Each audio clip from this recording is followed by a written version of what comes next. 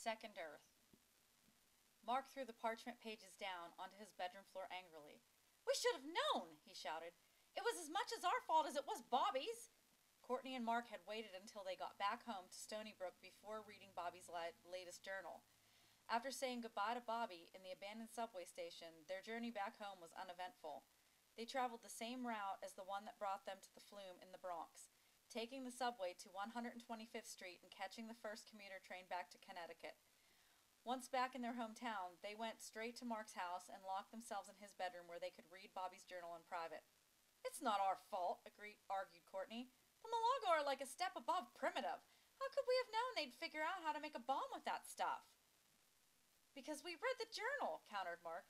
We knew the same things that Bobby did. Press told him to never bring anything from one territory to the next. We read that, but we did it anyway. Mark paced around the floor out of sheer nervous energy.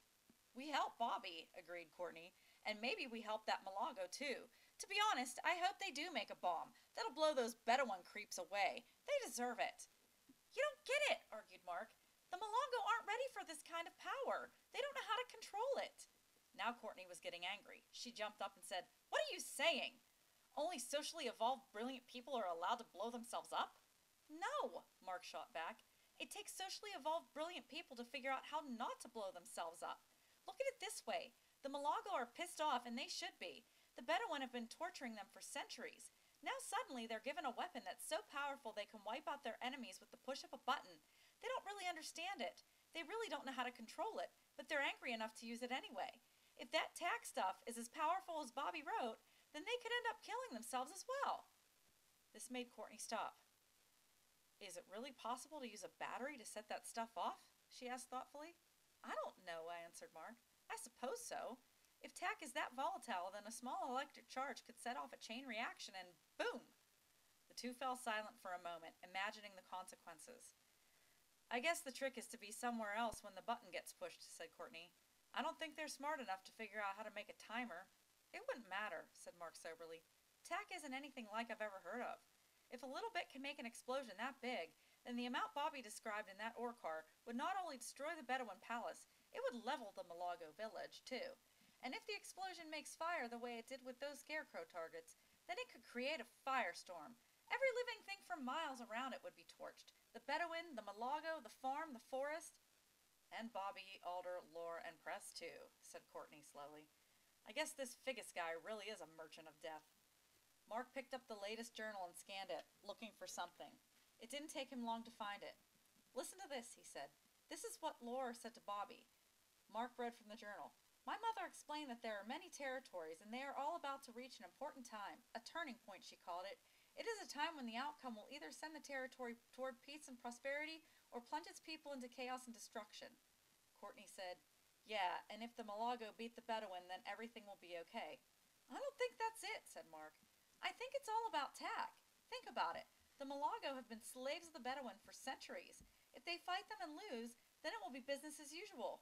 But if Milago tipped the balance by using something as horrible as that explosive, then who knows what it could lead to? Then we've got to try and undo it, countered Courtney. How? was Mark's obvious question. It's not like we can go through the flumes. It doesn't work for us, remember? Courtney paced, her mind kicking into overdrive. Then maybe we can send something to Bobby, she said. Like a. like a. like a what? shouted Mark. We can't send anything to him. It would only make things worse. The only thing we can do is. Ding dong! Mark was interrupted by the doorbell. The two instantly fell silent. You expecting somebody? asked Courtney. We skipped school today, Mark said nervously. Maybe they're coming to check up on me. The doorbell rang again. Let's hide, said Mark. Courtney gave him a sarcastic look and said, Hide? Give me a break. I think we have bigger things to worry about than getting caught for skipping school. Answer the dumb door. Courtney was right, thought Mark. Who cared if they got busted for skipping school?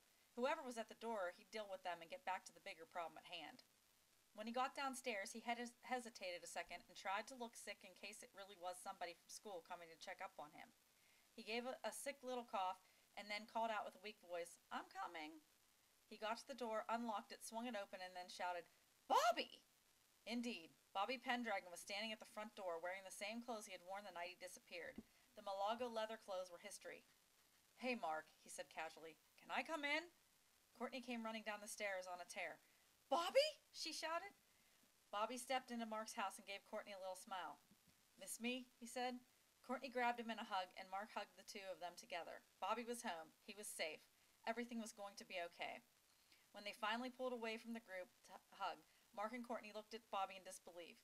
This was too good to be true. A few seconds ago, they were worried about never seeing him again. Now here he was, standing right in front of them. But Bobby looked different. Both Courtney and Mark noticed it. It was still Bobby, no doubt about that, but he looked tired, like he had gone through an ordeal that took a lot out of him. Are you okay, man? asked Mark. You kind of look sick.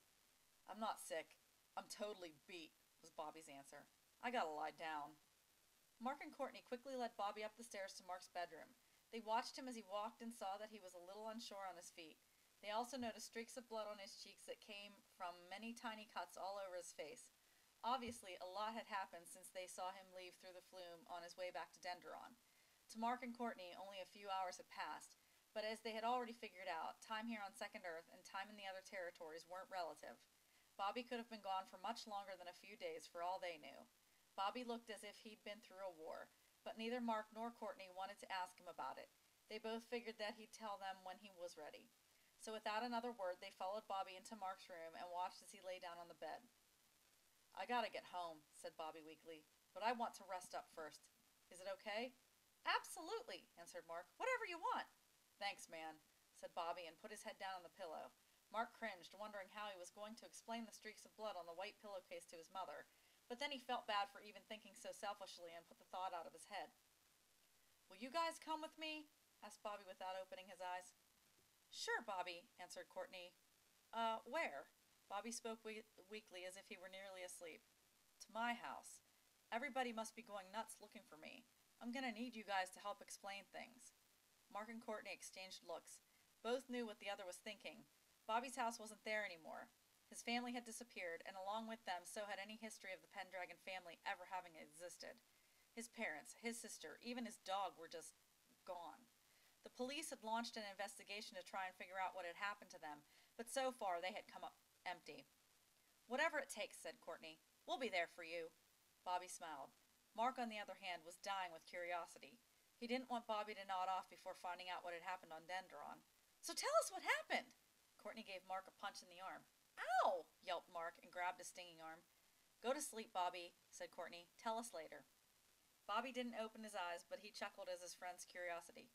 Oh, yeah, I almost forgot, he said while reaching up to his shirt. He unbuttoned a few buttons, reached his hand in, and pulled out a roll of parchment paper. It's all there, he said, fading fast. Everything that happened since I wrote last. Wake me up when you're finished.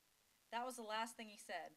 Bobby was in dreamland, the roll of parchment paper still in his hand. Mark glanced to Courtney, hesitated a moment, then took the precious journal. Courtney took the folded up comforter from the bottom of Mark's bed and laid it gently over Bobby, right up to his chin. This was probably the first time he had slept in a bed in a long time, and she wanted to make sure he was as safe and comfortable as possible. Then the two of them walked quietly to the far side of the room. Should we go downstairs and leave him alone? whispered Mark. No, was Courtney's reply. Nothing we could do would wake him up now. Mark nodded. He didn't want to leave either.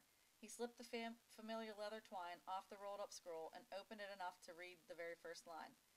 Journal number four? asked Courtney. Journal number four, answered Mark. The two sat down next to each other on the floor and began to read the final chapter in Bobby's adventure.